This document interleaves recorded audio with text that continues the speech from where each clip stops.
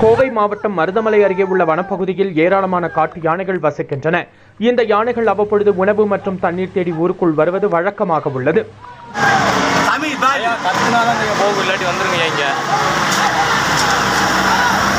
இந்த நிலையில் நேற்று இரவு மருதமலை வனப்பகுதியில் இருந்து வெளியேறிய ஒற்றை ஆண் காட்டு யானை கல்வீராம்பாளையம் பகுதியில் உள்ள ஊருக்குள் நுழைந்தது. இதனால் அப்பகுதியில் பெரும் பரபரப்பு ஏற்பட்டது. யானை பயத்தால் மக்கள் வீடுகளுக்குள் முடங்கினர். பின்னர் இதுகுறித்து வனத்துறையினருக்கு தகவல் தெரிவித்தனர். உடனடியாக சம்பவ இடத்திற்கு வந்த வனத்துறையினர் யானையை வனப்பகுதிக்குள் விரட்டும் முயற்சியில் ஈடுபட்டனர்.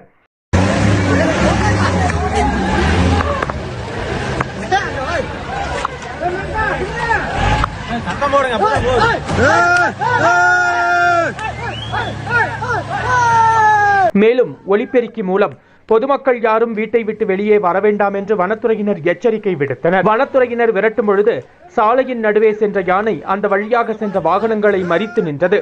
இதனால் பொதுமக்கள் அச்சமடைந்தனர். தொடர்ந்து நீண்ட நேர போராட்டத்திற்கு பிறகு யானையை அடர் வனப்பகுதியான மேற்கு தொடர்ச்சி அடிவாரத்திற்கு விரட்டினர். வைல்ட் லைஃப் வால்பாறைக்காக நமது செய்தியாளர் வடிவேல்.